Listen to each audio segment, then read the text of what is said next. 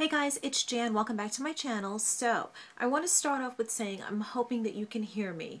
I'm really hoping that you can hear me. I don't know what happened in the last couple of videos. I obviously didn't check my sound. I'm really sorry about that. But, um, you know, that's just Jan for you because Jan doesn't check these things. So I checked today. It looks like everything's up and where it should be. So the first comment should just let me know that right away.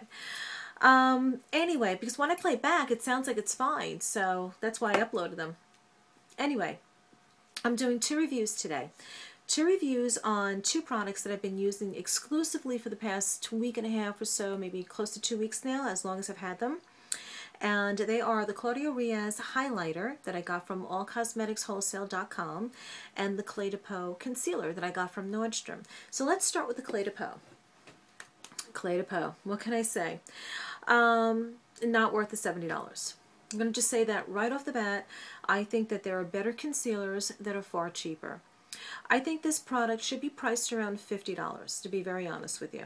Um, it's certainly not worth the $70 that I can see right now. So I know I'm coming off, you know, right out of the gates, really being harsh about Clé de Peau, but I'll tell you what, um, my skin is moisture enriched before I put on anything in terms of foundation or concealer or even my corrector.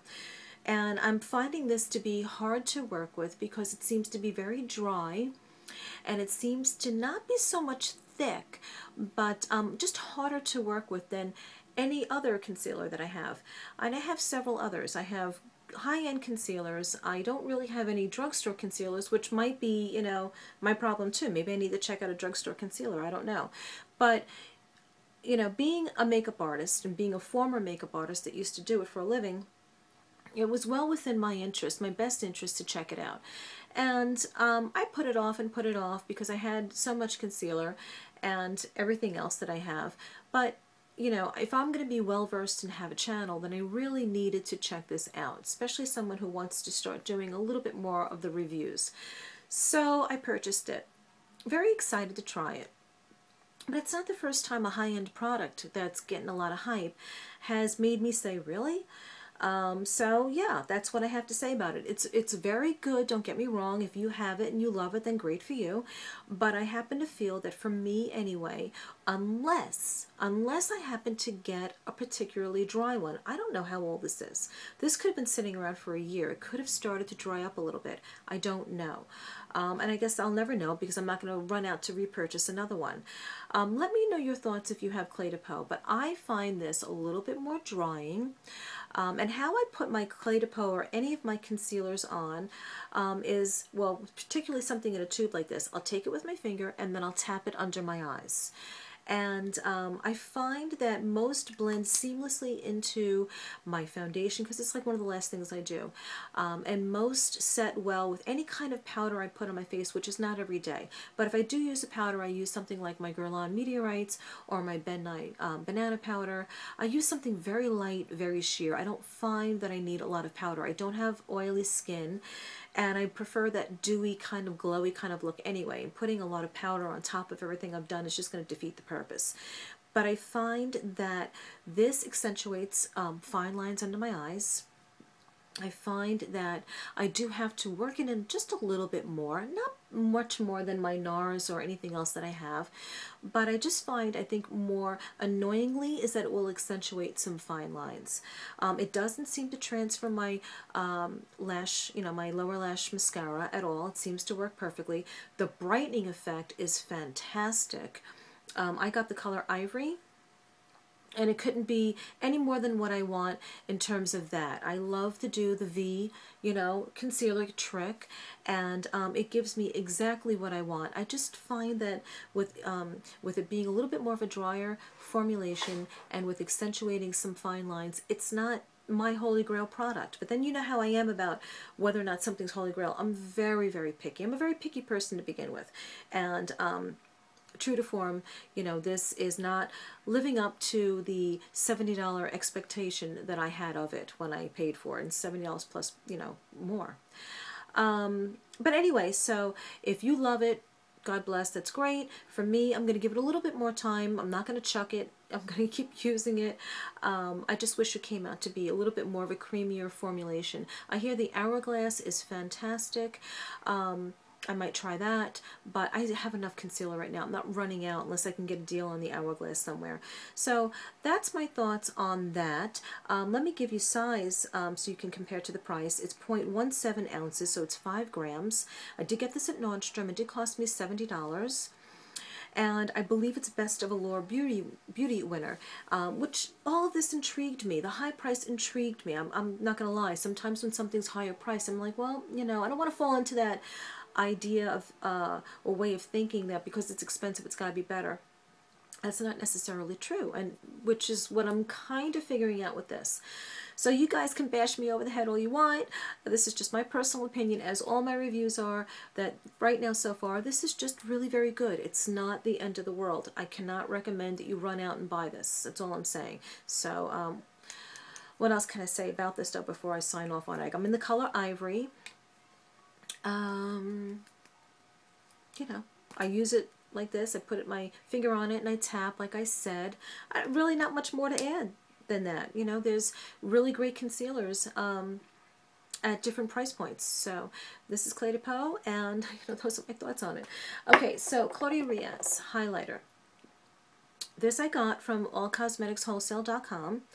And um, at first, I initially likened this to NARS Copacabana, the multiple. Nothing like it at all. I don't know if my lighting is going to do me justice here. This is the NARS, however messy it is, Copacabana. It's like the Laura Mercier Illuminator. It really is like just a, a more of a creamy, solid form of that, uh, color-wise, and at least for me, um, finished result. Claudio Riaz is nothing like that. It's definitely more silvery white, and at first this might put you off, but um, it's, it's brilliant. I absolutely love it. And I'm really even more intrigued to check out the Claudio Riaz line further.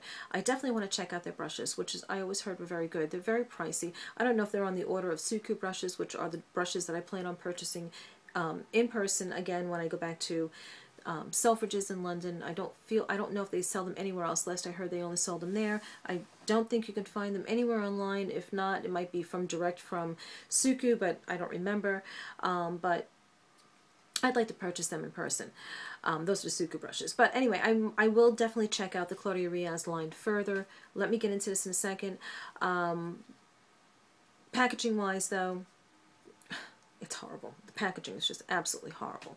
It really is. Look, the name is wearing off. It is this stiff cardboard. I don't know why they would how long do they expect this to last? This will last me a very, very long time.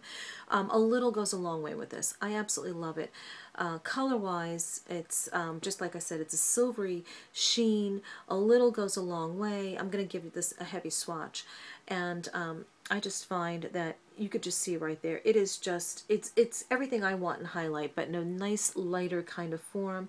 I know I'm probably making myself look like an oil slick right now, um, but it's everything I want in highlight in this kind of cream kind of form.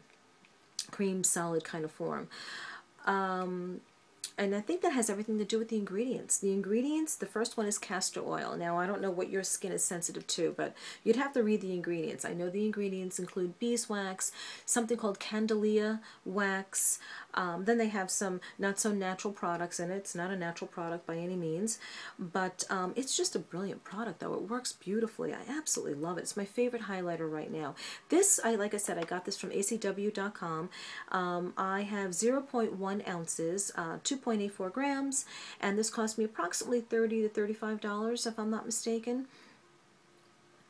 Well worth, and I looked at it and I saw the size, I was like $30 for that. You know, I don't know how deep the product went into here. It goes, it looks like it goes all the way to the bottom. Um, I'd say this is about a half inch thick. Um, I can't say enough about the product itself, the packaging. Claudio Riaz people, change your game when it comes to the packaging. It's just absolutely horrible. Really bad. Um, surprisingly, because like I said, I think the brushes are probably going to be very, very good should I purchase any of those. But um, what else can I tell you about this? You know, I'm a highlighter fiend. I'm a concealer fiend too. I need the concealer, but I'm a highlighter fiend. There's never a day that that goes by when I do my makeup that I don't put on a highlight. I just love it. If you guys remember Jennifer Lopez on American Idol, she always had that little highlighted look right here. I loved it. I thought it was, you know, it didn't to me look oily, but I, you know, I, I liked her makeup. So that I was always intrigued by that kind of look. And I've always taken my highlighters that I have here, and I have quite a few, and tried to achieve that little dot of highlight on the cheeks there. And I'm sure I achieved it, but this really gives me what I think is a nice coverage, sheen look. It doesn't look cakey at all because it's cream formulation. It's just brilliant product. So this I'm going to rave about, Claudio Riaz, but packaging I'm not going to rave about. So that is the very sad little packaging. Um, Clé de Peau's packaging is beautiful. You know, it's got a nice little um, blue, midnight blue kind of little capuchon. Is that the word capuchon? Kind of top. Um, did I tell you the amount of product in this? I might have, I don't recall. 5 grams, 0.17 ounces, $70 $30, $35, completely different products. I think we need both anyway, to tell you the truth, whatever brand you get. I think we always need a highlight, we always need a concealer. These are just my two of choice lately. Um, I'm not giving up on this. I just, um, and I have it on, but you really can't tell probably.